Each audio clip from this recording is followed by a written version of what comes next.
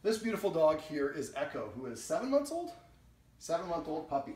Now she is a border collie or, uh, or excuse me, Australian Shepherd mix, we're not sure. Um, and she likes to run. We have an electric fence outside. Now, one of the things that I find for a lot of people with an electric fence is they start using it right away. Now, this technique that I'm going to go over is to teach the dog to respect the flag and where the boundary is, if I can show, um, without actually needing an electric, an e-collar. I'm not a big fan of e-collars because it's using negative reinforcement. I want to train the dog to move away from this. So I haven't done this for a while, so we'll see how we do. I have a clicker here. I'm going to use the clicker to indicate when the dog does the thing that I want. So first thing I want to do is get the dog to used to approaching, seems counterintuitive, but approaching the flag. So what I do is I put it there.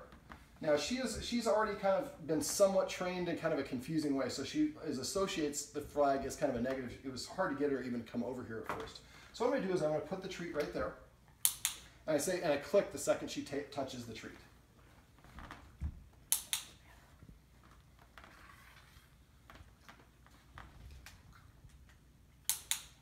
Now if you notice, I'm moving the flag a little bit further away each time.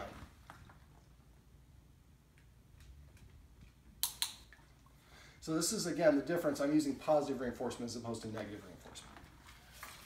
Now what we're going to do is we're going to practice this in the house for quite a while before we actually get to outside, like at least a week. So now what I'm doing is, like I said, I'm moving it further and further away from her so she has to travel to it and then she moves away.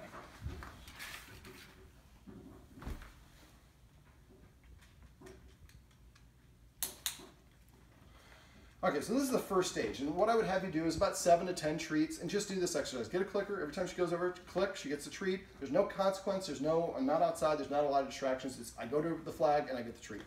The next stage is once you've gotten to her where she goes to the treat, goes right away, which she's already picked up on, but you just want a lot of reinforcement. Um, well, see, we'll see if we can get to the next stage. So what we want to do is condition her so that she sees that flag, she immediately goes over to the flag on her own. Come here, sweetheart. Echo.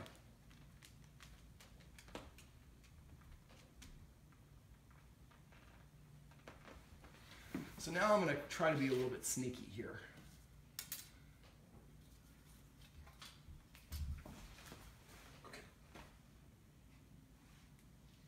Now this is why we want to repeat this a lot. This I'm trying to do this in a video. This is real time. I'm not one of those guys that actually teaches the dog and then films it after the dog knows how to do it. So this is probably why those guys teach the dog first and then film it afterwards because it looks better on camera. But we were in a real world situation. There we go.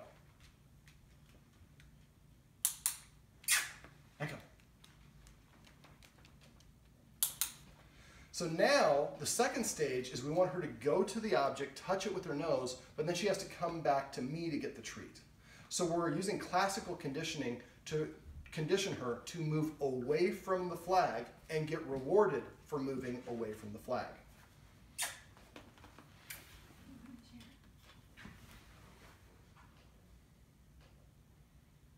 Now, come here, sweetheart.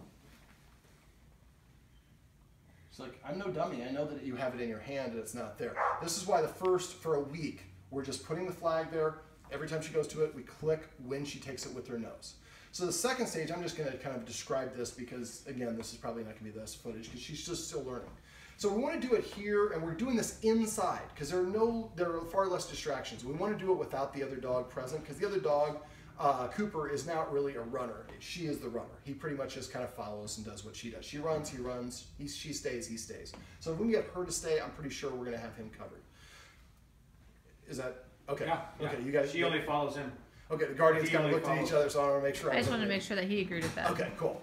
So basically, once we've gotten to this point where the dog will come over and take the treat. Now, right now, I'm doing this is what we call static. It's on the floor. It's not moving. Eventually I want to go like this and have her go over and touch it with her nose. So she understands every time I touch it with her nose, I get it. Now I'm putting the treat on it initially to give her incentive to go there.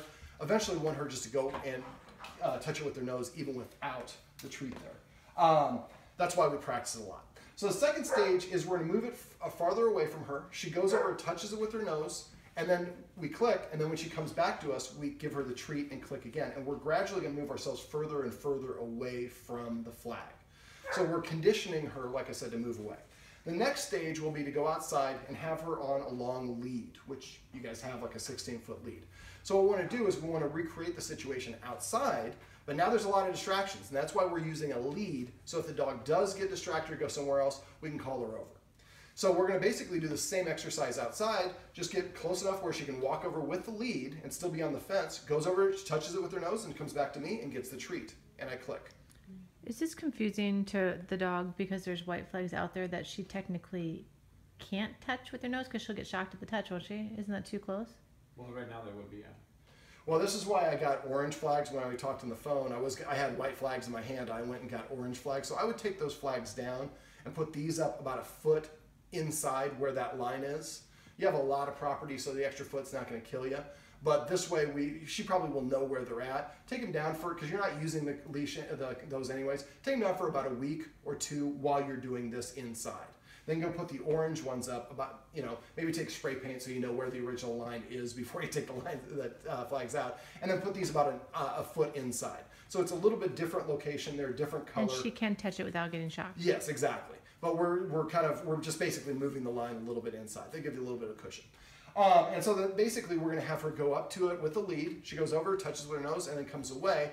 And then basically we've conditioned her to moving away from it is a positive thing and is rewarded. Now, underneath this video, I'm going to put kind of, I'm going to describe a little bit more of the details because again, we can only do so much with her right now because we're just teaching her how to do this. But the nice thing about this is the way to use positive dog training, positive reinforcement to get the dog to know what we want and do it because we, it wants to do it, not because it fears uh, a pain in the neck, because she's clearly indicated she doesn't care. She'll run through it, and it only shocks for so long, and then she's free and she does whatever she wants to do. So that tech, and I think a lot of it was again, we put the collar on, start using it inside the house right away. If you do use an e-collar or a shock collar, the dog should wear it for a month without any sensation whatsoever, no beeps, no sounds, no vibrations. So they just get used to that sensation of feeling it. Then when they do the wrong thing, then they get the beep, or they get the tone, or they get the shock, and they associate the shock came when I crossed the line, not coming from my shock collar. If that makes sense. But again, I don't like using those. So if you are, if you have a dog that doesn't do it, uh, doesn't go out of the yard or runs out of your yard, this is the proper way to do it because again, the dog wants to do what you want. So this is how we can teach our dog to stay in the yard using positive reinforcement and a bunch of flags.